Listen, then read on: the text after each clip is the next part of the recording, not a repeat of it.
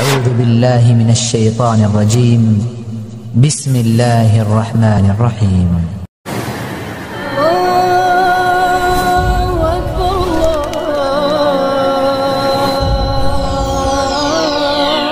الله أكبر.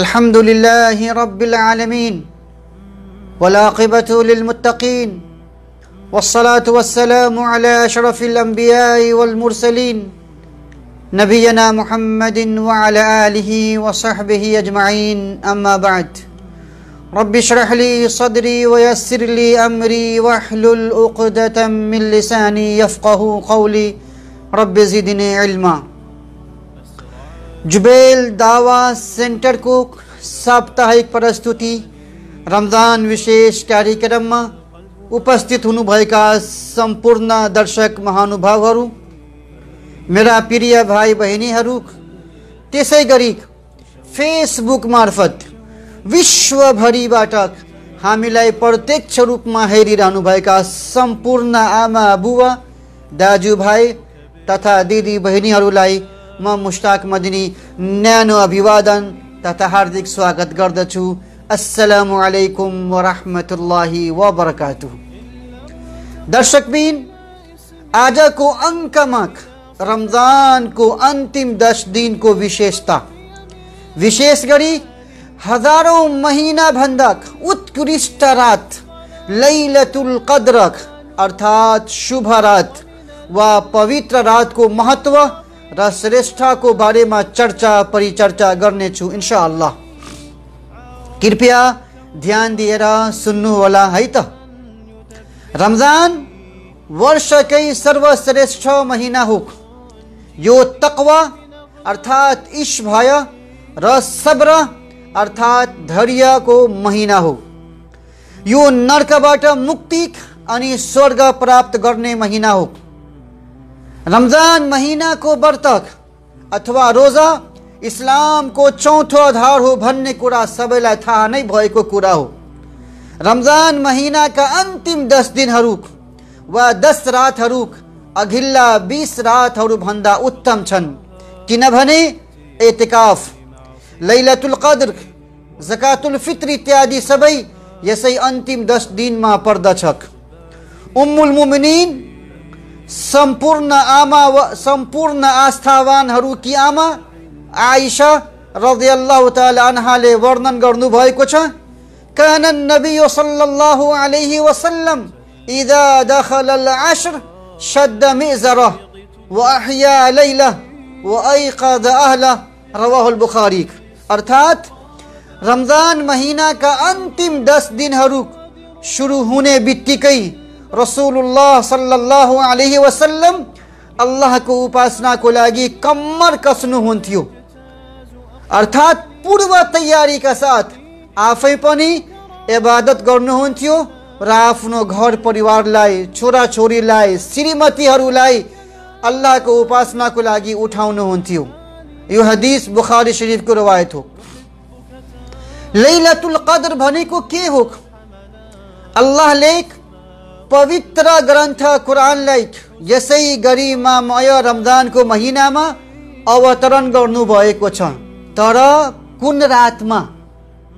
हो रमजान महिनाको जुन रातमा सिङ्गो कुरान लौहे महफुज अल्लाहसँग रहेको सुरक्षित पेटिकाबाट सांसारिक आकाशमा अवतरण गरियो त्यही रातलाई लैलतुल कद्र अर्थात् शुभ रात भनिन्छ किनभने अल्लाहले पुरा कुरान सातौँ आकाशबाट पहिलो आकाशमा एकैसाथ अवतरण गर्नुभएको थियो।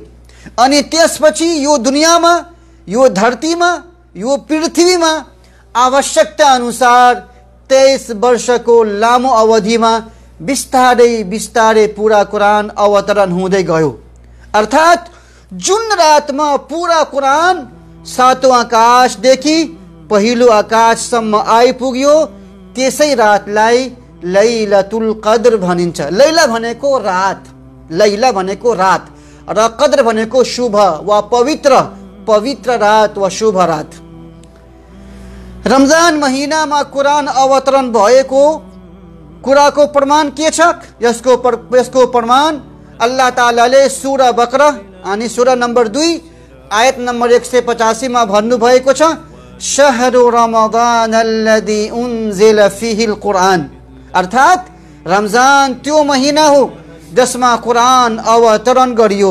यो कुरान सम्पूर्ण मानव जातिका लागि मार्गदर्शन हो। यो कुरान कुरानमा सत्मार्ग प्राप्त गर्नका लागि र सत्य असत्य बीच फरक छुट्याउने स्पष्ट प्रमाणहरू छन्। र रमज़ान महिनाको लैलतुल कद्र अर्थात् शुभ रातमा कुरान अवतरण गरियो। त्यसको के प्रमाण हो?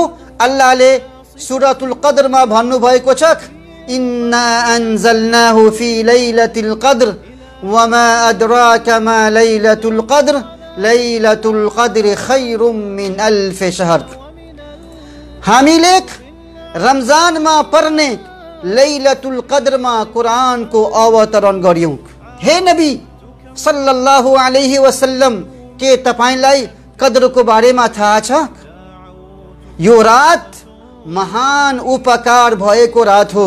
यो रातको उपासना, हजारौँ महिनाको उपासना भन्दा उत्तम छ। जरा सा एकचोटि हामी सोचौँ त। एक रातको उपासना, एक हज़ार महिनाको उपासना भन्दा उत्तम हुन्छ। हो साथीहरू, एक हज़ार महिना भन्नाले तिरासी वर्ष, चार महिना भन्दा बढी हुन्छन्। अर्थात् एक दिनको उपासनाले तिरासी वर्ष, चार महिना भन्दा बढी उपासना बराबरको पुण्य प्रदान गरिनेछ इन्सा अल्लाह एउटा सामान्य मानिसले पाउने उमेद बराबर पुण्य एक रातको उपासनाले प्राप्त गर्न सक्नुहुन्छ। वास्तवमा उम्मते मुहम्मदिया, अर्थात् रसुल्लाह सल्लल्लाहु अलैहि वसल्लमको अनुयायीमाथि अल्लाहको यो विशेष कृपा हो। यो अल्लाहको एउटा अनुकम्पा हो, एउटा ठुलो वरदान हो। यो रात यति विशेष छ कि अल्लाह तबारक व तालाले यस रातको वर्णनको लागि एउटा छुट्टै सिङ्गै सुर अवतरण गर्नुभएको छ सुरतुल कद्र। हो, वर्षकै सर्वोत्कृष्ट रात भनेको लैलतुल कद्र हो। यो रात रमज़ान महिनाको अन्तिम दस रातहरू मध्ये कुनै एक रात हो। तर कुन रात हो?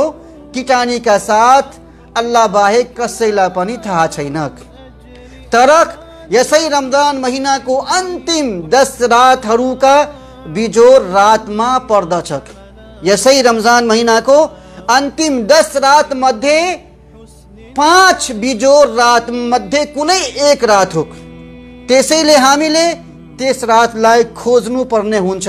रसुलुल्लाह सल्लल्लाहु अलैहि वसल्लमले भन्नुभएको छ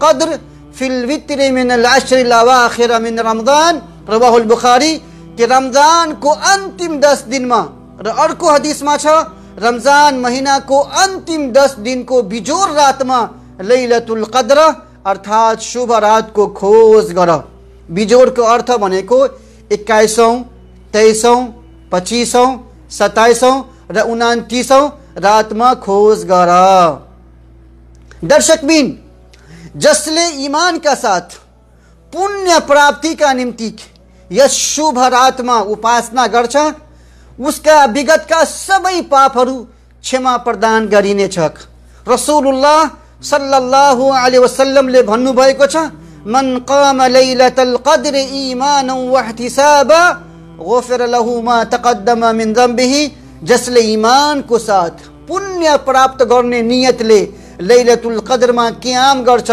तरावीको नमाज पढ्छ अल्लाहको उपासना गर्छ भने अल्लाहले उसका विगतका सम्पूर्ण पापहरूलाई क्षमा गरिदिनुहुन्छ।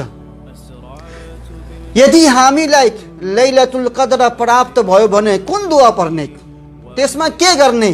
लैलतुल कद्रको दुवा रसुलुल्लाह सल्लल्लाहु अलैहि वसल्लमले आफ्नी श्रीमती आइसा रजियल्लाहु ताला अन्हालाई सिकाउनु भएको दुवा यो हो अल्लाहुम्मा इन्नका अफुउन तुहिब्बुल अफवा फअफु अन्नी अल्लाहुम्मा इन्नका अफुउन तुहिब्बुल अफवा फअफु अन्नी हे अल्लाह तपाईँ आफ्ना भक्त जनहरूलाई माफ गर्नुहुन्छ र माफीलाई अत्याधिक मन पराउनुहुन्छ कृपया हामीलाई माफ गरिदिनुहोस् हामीले यो दुवा पढ्नुपर्छ किनकि अन्तिम सन्देशटा मुहम्मदुर रसुल्लाह सल्लाह सल्लमले आइसा रजियल्लाह तालालाई यही दुवा पढ्न सिकाउनु भएको थियो र यो हदिस तिर्मिदीको हो र शेख अल्बानीले यो यो हदिसलाई हसन करार दिनुभएको छ त्यसै गरी लैलतुल कदरमा तरावीको सलाह पढ्नुपर्छ जिक्र अस्कार गर्नुपर्छ सुबहान अल्लाह अल्हम्दुलिल्लाह अल्लाहु अकबर ला हौला वला कुवत इल्ला बिल्लाह अस्तगफिरुल्लाह अस्तगफिरुल्लाह र कुरानका पाठहरू गर्नुपर्छ त्यसै गरी दान र सदका पनि गर्नुपर्छ र विशेष गरी आजको बेलामा अहिले लकडाउनको अवस्थामा आफ्नो छर छिमेकमा रहेका गरिब गुरुवालाई हामीले विशेष ध्यान दिनुपर्छ दर्शकबिन गत रमजानमा एकसाथ इफ्तार गरेका सँगै बसेका धेरै जसो साथीहरू आज हामीसँग छैन। यो रमजान हाम्रो जीवनको अन्तिम रमजान पनि हुन सक्छ। त्यसैले यस महिनामा जति सक्नुहुन्छ पुण्य कमाउनुहोस् पाप र गलत क्रियाकलापलाई त्याग्ने प्रयास गर्नुहोस् तरावीको नमाज पढ्नुहोस् कुरानको तलावत गर्नुहोस् अल्लाहसित आफ्नो पापप्रति क्षमा माग्नुहोस् क्षमा याचना गर्नुहोस् अल्लाहले हामी सम्पूर्णलाई नेक कार्य गर्ने अनि कुलतबाट गलत कामबाट प्रायश्चित गर्ने तौफिक प्रदान गरून् भन्दै म आफ्नो दुई शब्द यहीँ टुङ्ग्याउन चाहन्छु। आजको कार्यक्रमको शोभा बढाइदिनुभएका सम्पूर्ण दर्शक महानुभावप्रति म मुस्ताक मदनी आभार व्यक्त गर्दै म यहाँबाट बिदा हुन चाहन्छु। इन्सा अल्लाहको साता नयाँ विषय वस्तुका साथ फेरि उपस्थित हुनेछु इन्सा अल्लाह जजाकुमुल्ला खैर वस्सलामु अलैकुम वरहमतुल्लाहि वबरकातुहू